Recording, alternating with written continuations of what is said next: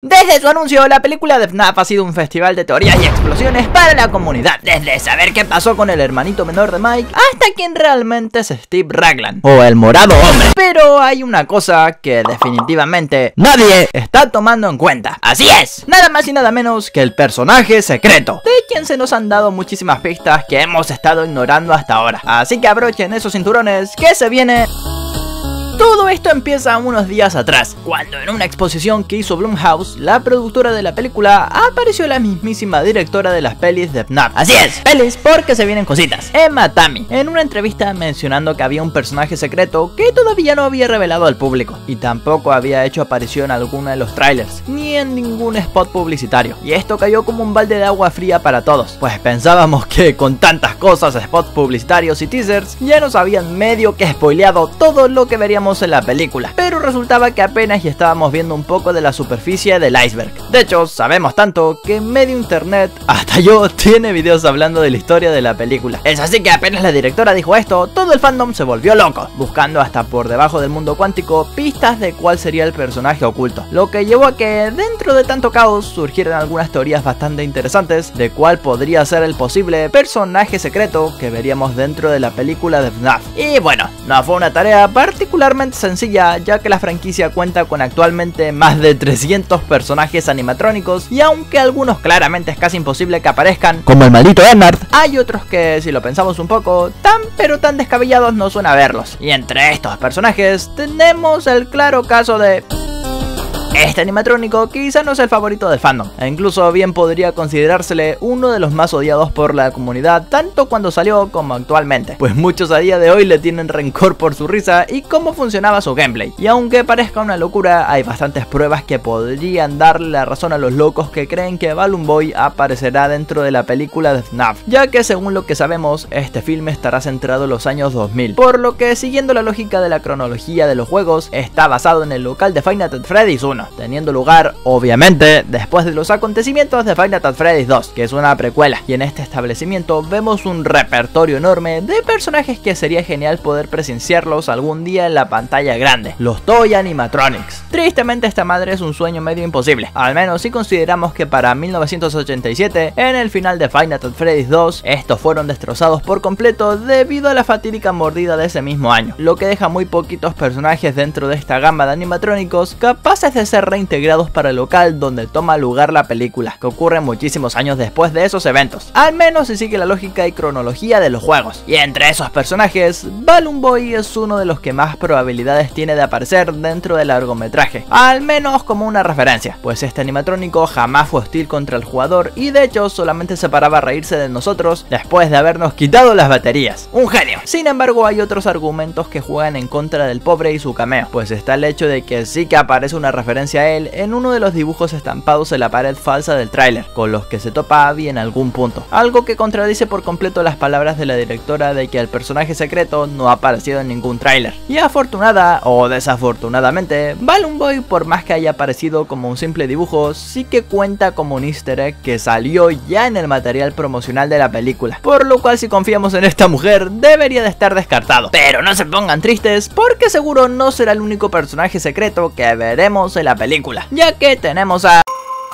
No sé si sea el destino que pedo, pero justo hace solo algunas semanas hablamos de Shadow Freddy en el canal. Y como este es quizá el personaje más olvidado y desperdiciado dentro de la franquicia. Y pues parece que Scott vio el video y dijo, pues es verdad. Y solo unos días después, a través de un video oficial subido por la misma Universal Studios, de una duración aproximada de unos 9 minutos, se enseñaron algunos clips de la película a modo de grabación de cámara de seguridad. Y entre todos esos, estaban nada más y nada menos y nada más que Shadow Freddy. Es como si Scott hubiese buscado dentro de su cajón de personajes olvidados y dio en el clavo para agregar un personaje misterioso a modo de easter egg. En ese mismo video se nos enseñó un pequeño adelanto de este personaje y eso volvió bastante locos a los fans, pues pudimos haber esperado de todo menos el regreso del mítico Shadow Freddy. De momento no sabemos qué rol cumplirá dentro de la película o si es que realmente será importante más allá de tener una aparición como easter egg, pero no cabe duda que ver de vuelta al menos a uno de los Shadow Animatronics es una de las cosas menos esperadas para un filme como este donde ya tenemos un repertorio bastante grande de personajes. Sin embargo, aunque sea emocionante ver dentro de la peli a un personaje tan mítico como lo es Shadow Freddy, al igual que Balloon Boy, muchísima gente también sospecha que este quizás no es el animatrónico oculto del que nos estaba hablando la directora, pues ya apareció lo que se podría decir como material publicitario, hecho por Universal. Y si ya lo enseñaron con antelación, significa que realmente, por más que nos duela, este no va a ser ese personaje del que Emma nos había hablado en aquella entrevista, lo cual solo nos deja dos posibilidades más de personajes que veremos dentro de la peli. Y uno de ellos ni siquiera es un animatrónico, sino más bien una persona.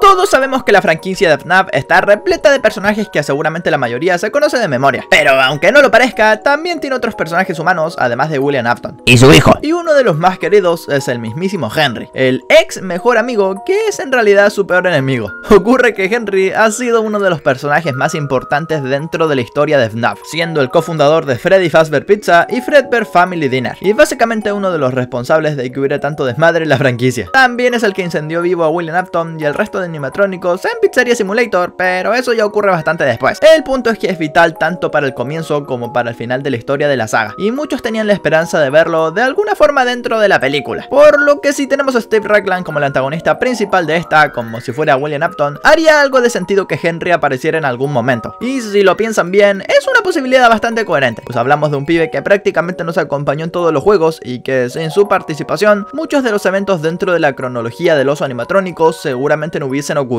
de hecho, originalmente muchos fans teorizaban que Hank, un personaje que hace vida en la película como uno de los ladrones que se meten a robar dentro del Freddy Fazbear Pizza, sería Henry. Pero esto fue rápidamente desconfirmado, por lo que si es verdad que Hank no es Henry, posibilidad de que lo veamos realmente dentro de la película, pues igual y no tanto si consideramos que el papel de Henry dentro de la historia de FNAF es por lo general intentar acabar con William Afton, y considerando que apenas ya estamos viendo la primera película de una trilogía, sería bastante ilógico meterlo así sin más. La única forma posible de que lo incluyeran sería como un cameo estando dentro del traje de Fredbear que lo vemos usar en los libros. Pero considerando que ya Golden Freddy aparece en la peli, por lo cual Fredbear se murió, esto se descarta por completo. Sin embargo, no perdamos las esperanzas, porque la que sí que tiene posibilidades de aparecer es su hija, Charlie, cuya alma quedó atrapada dentro de...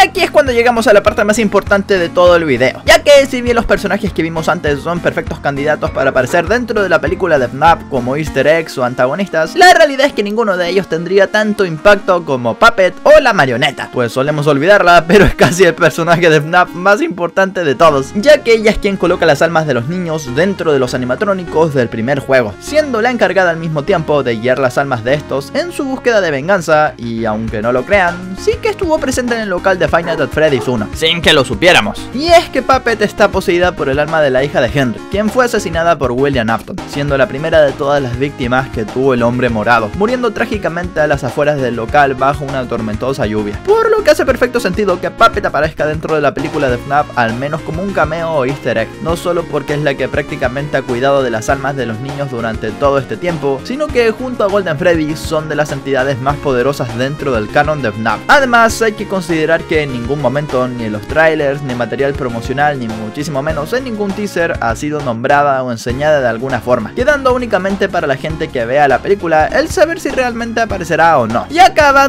extra que puede confirmar su aparición, y es que recientemente se filtró una de las canciones que aparecerá como soundtrack del filme, y una de esas suena muy parecida a la de My Grandfather's Clock o El reloj de mi abuelo, el mismo tema que aparece junto a la marioneta en Final Freddy 2, una vez que le damos cuerda. Algo que de ser cierto confirmaría de una vez por todas su aparición dentro de la peli. Y además de eso nos haría ver que tendría su merecida representación que tanto esperábamos ver, pues hay que admitir que Puppet es a lo menos espeluznante, diferenciándose mucho en apariencia a los demás animatrónicos, siendo un personaje que casi nunca habla o hace nada frente a nosotros, que con sus ojos vacíos nos genera un misterio e incertidumbre interesante, y no podemos olvidar lo enorme que es comparada con el resto de trónicos, por lo que si es que llega a aparecer dentro de la película sería definitivamente el personaje secreto que nos haría decir ¡Es cine! en el cine. Esta fue la historia del personaje secreto dentro de la película del Final Fantasy Freddy's. ¿Creen que haya otro personaje oculto dentro de la película? ¿Será ese Puppet? Y sin más que decir y esperando que les haya encantado. ¡Me piro vampiro!